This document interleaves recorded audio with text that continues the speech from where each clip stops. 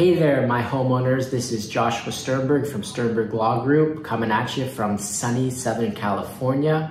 I hope that everybody's doing well. In this video, we are going to discuss the foreclosure process. More specifically, we're going to discuss what happens with different type of liens if a property is foreclosed.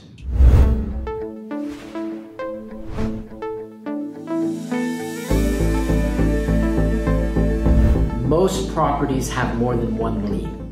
Okay, let's first define a lien. A lien is something that is secured against the property that usually has a monetary value, meaning money is owed on it. There could be other types of liens. There could be liens from the city, liens for having your property in disrepair. If you have a swimming pool that's not being taken care of and there's mosquitoes coming out of it, believe it or not, they can hit a lien on your property. So there are different liens that are non-monetary, but really for the purpose of this video, and for what we deal with at Sternberg Law, we're gonna talk about monetary liens. So people you owe money to from all different walks of life, that in order to secure their payment, they put a lien on your house. Commonly understood liens are mortgage liens. You get a first mortgage, you get a second mortgage, often referred to as your first and second. That's lien number one, lien number two.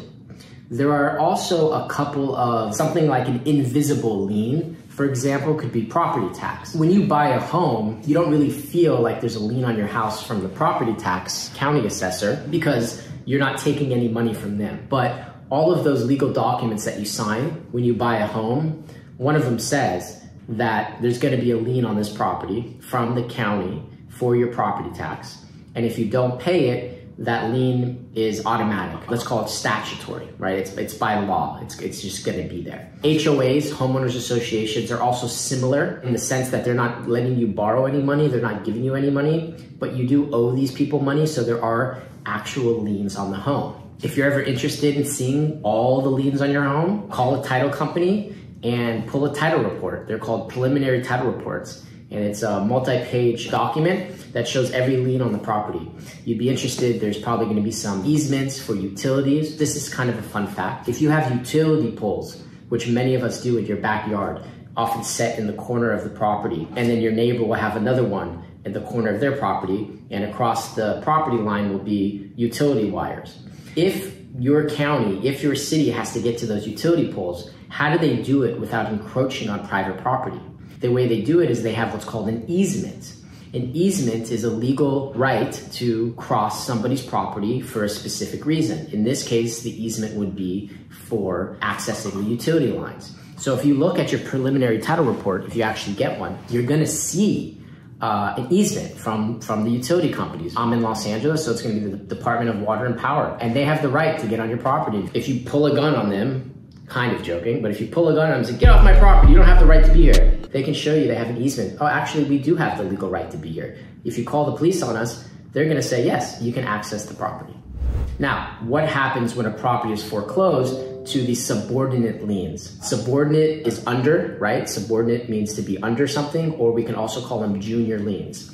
In this scenario, we're gonna have a first mortgage, a second mortgage, a tax lien, a judgment lien. Let's just do those four liens for right now. If the first mortgage is the foreclosing lien, when the first mortgage files their foreclosure, they file it for a certain dollar amount. Let's say it's a $500,000 lien. They will file their foreclosure for $500,000 because that's how much money they are due in first position. If a third party comes and bids on that house, on that foreclosure, and they say, wow, this property at 500 is a good deal, I'm gonna bid 600 and then 600 goes to 700, 700 goes to 800, and that's the final bid. So the house forecloses for 800,000. What will happen is the first will get the first 500,000 because that's how much they're due. And then what's left over? 300,000.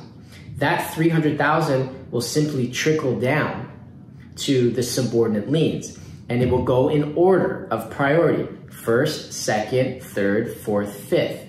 Now, what determines priority in almost all situations is chronological. What was recorded before what?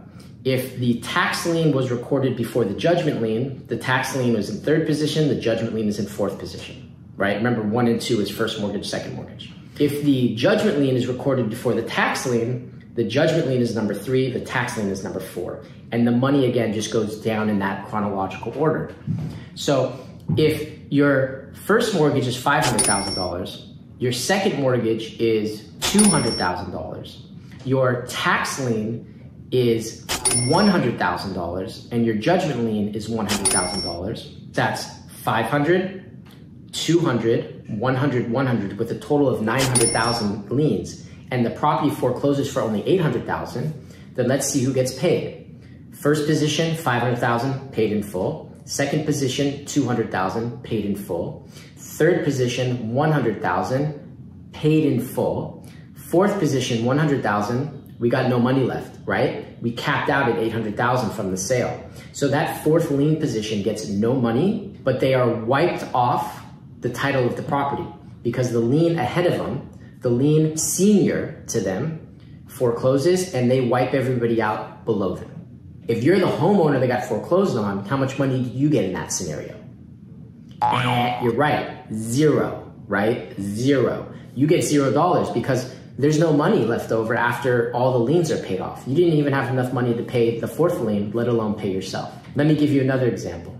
So in this scenario, first lien 500,000, but the second lien is only 50,000, the third lien is only 50,000, and the fourth lien is only 50,000, right? So if I do some quick math, that's 500, and then 50, 50, 50, that's 650 total.